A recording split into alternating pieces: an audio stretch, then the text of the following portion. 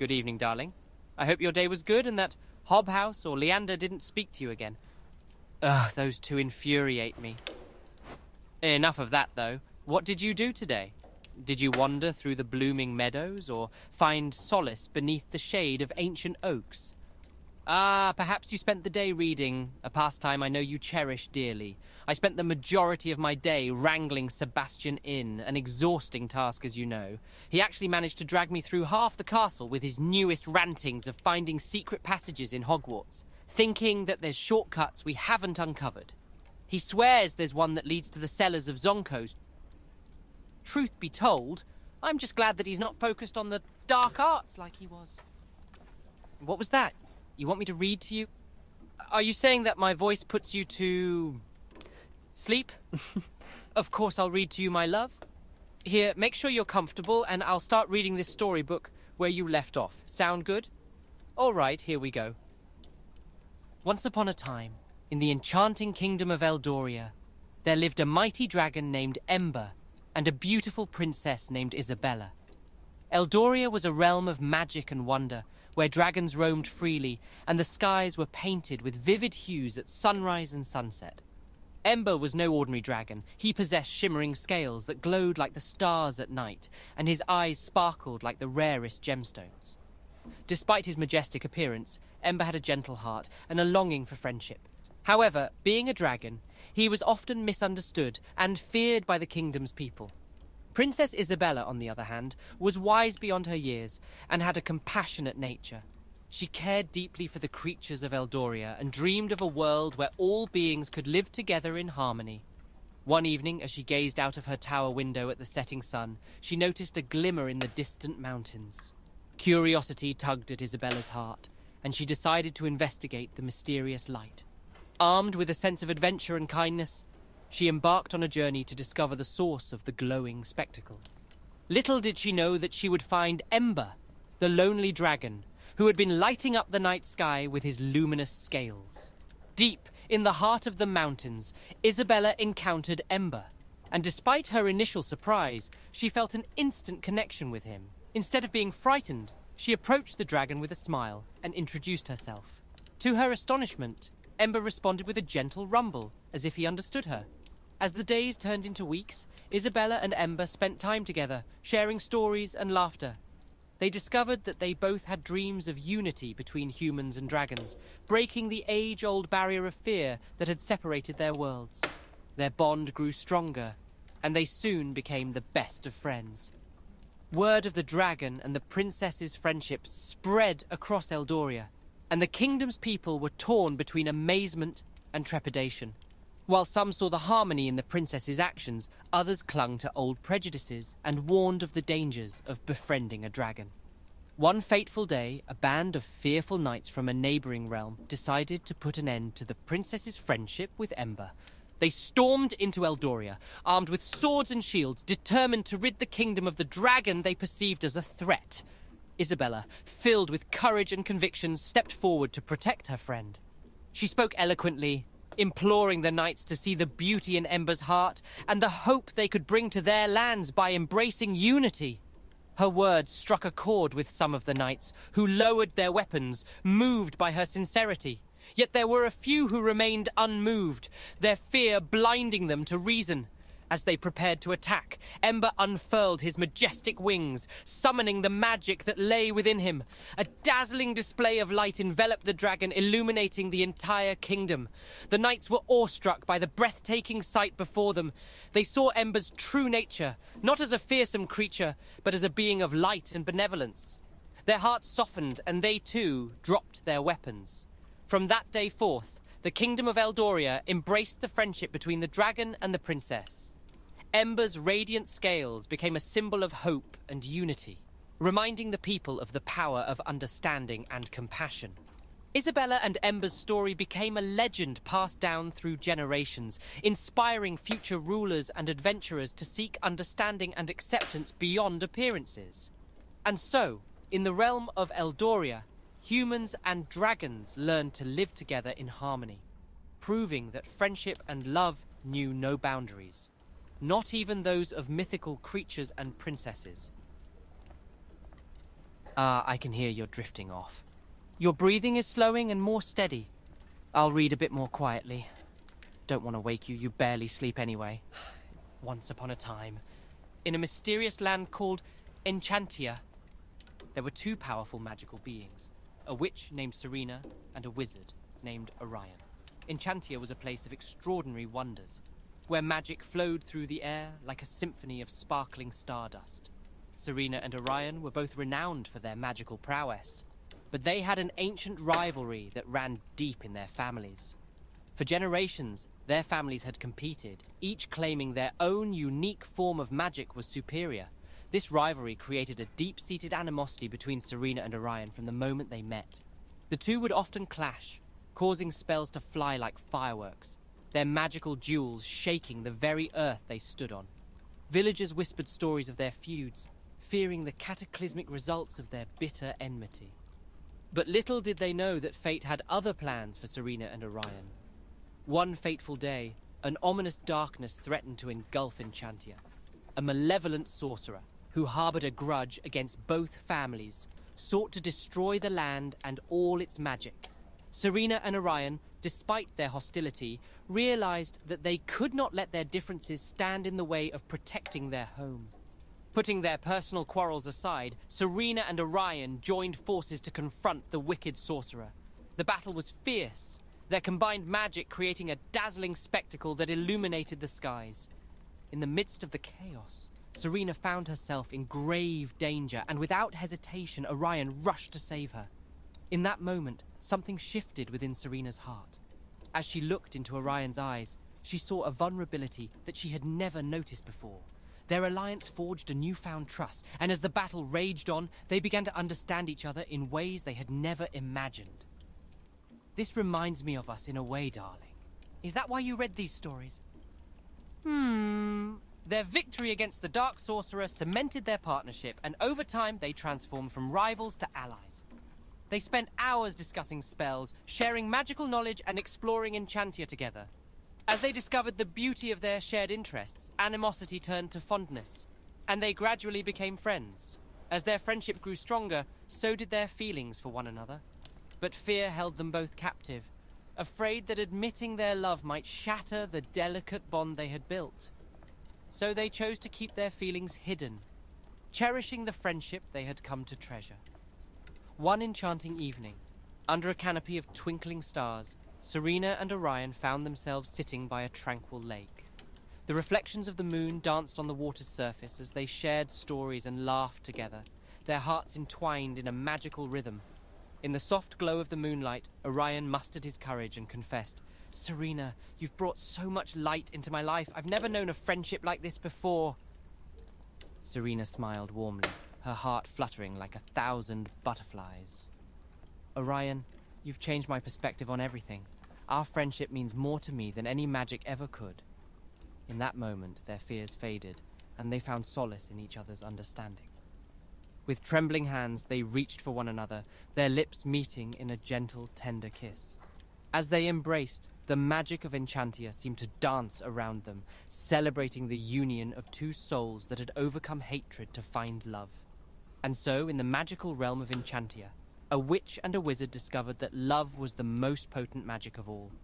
Their love story became a tale of hope, reminding everyone that even the deepest animosity could be transformed into the most profound love, and that the most extraordinary adventures often began with a single step of bravery.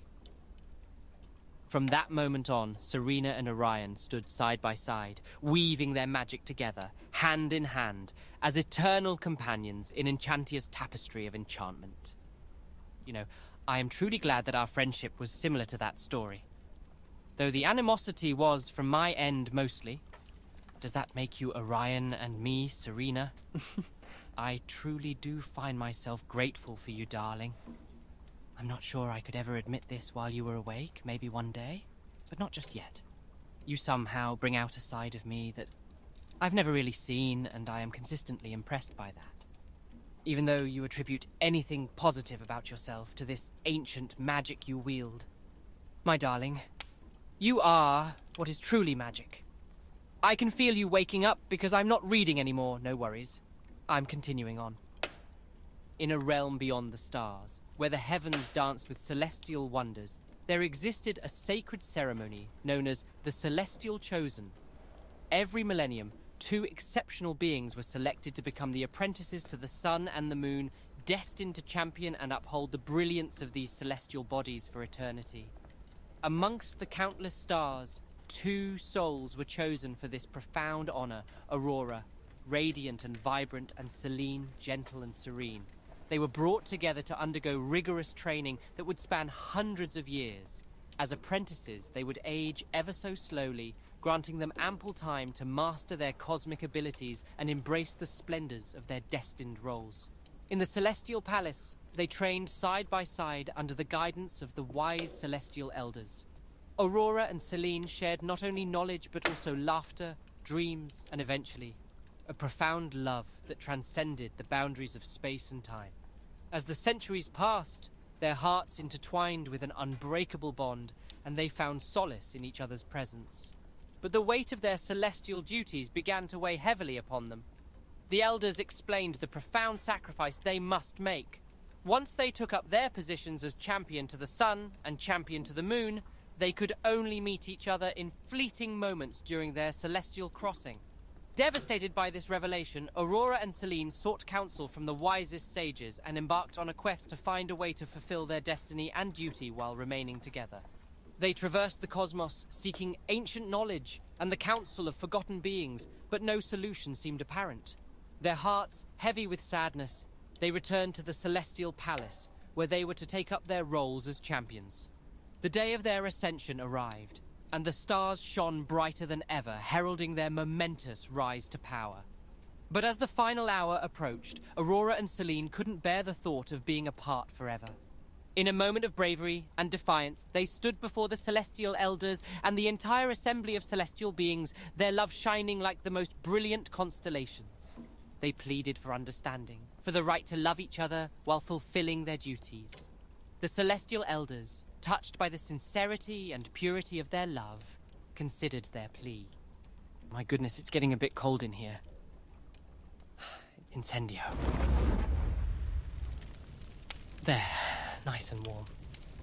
The heavens fell silent as they conferred amongst themselves, pondering the unique situation of these extraordinary souls.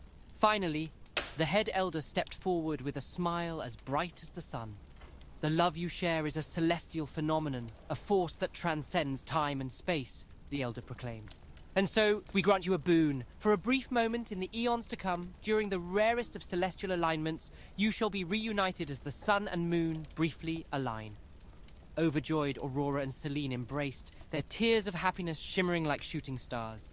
With renewed hope and determination, they embraced their celestial duties with even greater dedication, knowing that their love would endure across the vast expanse of the cosmos. And so, the ages turned, and with each passing millennium, the sun and moon aligned in a celestial dance that brought Aurora and Selene together. Their reunion was a cosmic celebration, painting the skies with colors never before seen, a symphony of love and light. As champions to the sun and moon, they fulfilled their destiny, but it was their love that illuminated the universe most profoundly. They became the epitome of celestial devotion, and their story was whispered among the stars, inspiring countless beings throughout the cosmos. And so the tale of Aurora and Selene, the radiant sun and the gentle moon, continues to shine in the firmament of time, an eternal reminder that even in the face of impossible odds, love can conquer all and bring together even the most distant of hearts. Why aren't we reading tales of the Beedle Bard? Honestly, is this what muggles think magic is like? It's kind of nice. Next story in your book. In a quaint village nestled at the edge of the enchanted forest, there stood a mysterious library that had been a source of wonder and fascination for generations. The locals spoke of its magical origins, but few had ventured inside, for the librarian was an elusive figure who seldom appeared. One day, a curious young girl named Lily stumbled upon the library's hidden entrance while chasing a fluttering butterfly. Pushing open the creaking door, she found herself in a world beyond her wildest imagination. The library seemed to stretch infinitely, its shelves lined with books of every shape and size, each adorned with intricate designs and glistening gems. As Lily explored the vast library, she discovered that the books held stories that came to life. Upon opening one, she was transported to enchanted lands where mystical creatures and brave heroes lived extraordinary adventures. With each tale, she felt the magic of the books seep into her soul. One book in particular caught her attention. It was bound in shimmering blue leather, and its title, The Chronicles of Starlight, glimmered like distant stars. Lily gingerly opened the book, and a radiant light burst forth, filling the library with a celestial glow. To her astonishment, she found herself whisked away into the very story she was reading. She became a part of the world of starlight, where stars twinkled like fireflies, and the moon sang lullabies to slumbering mountains. In this enchanted realm, Lily met a kind hearted young boy named Milo, who had been trapped in the story for ages. Milo explained that the story was cursed, and whoever entered its pages would become a character unable to return to their own world. Determined to help Milo and break the curse, Lily embarked on a journey through the magical lands of Starlight. Together, they encountered mythical beings and solved riddles woven into the fabric of the tale. With every challenge they faced, their bond grew stronger, and they found solace in each other's company. As their quest neared its climax, Lily realized that she had fallen deeply in love with Milo. But she also knew that once the curse was broken, they might be separated forever. The weight of her feelings added a bittersweet touch to their adventure, making each moment even more precious. Finally, after braving trials and triumphs, they discovered the heart of the curse. A wicked sorceress who had woven her malice into the very core of the story. Drawing upon the strength of their love, they confronted the sorceress, with Lily unleashing a power she never knew she possessed. Their love's brilliance overwhelmed the sorceress's darkness, and the curse began to unravel. But as the story started to fall apart, Lily's heart sank, fearing she would lose Milo forever. Yet, in the last fleeting moment before the story's end, the enchanted library manifested itself around them. The librarian, a wise and enigmatic figure, appeared before them and revealed the library's true secret. This library, the librarian said, is a place where the lines between stories and reality blur. The magic within allows the bonds forged between the characters and the readers to transcend the pages. With a knowing smile, the librarian explained that the love Lily and Milo had discovered in the story was now a part of them, entwined in their very souls. The enchantment of starlight would live on within them, and they could be together forever, bridging the worlds of reality and fantasy. Back in the quaint village, the library became a cherished place for all, where stories came alive and readers journeyed to magical realms. And at the heart of the library, amid shelves adorned with stories of love and adventure, Lily and Milo found their haven, the place where they could share their love with others and cherish the extraordinary tale that had bound them together. I have to be honest, darling. I am feeling rather tired as well. I'm just going to fall asleep here with you. I'll see you when we wake, my love.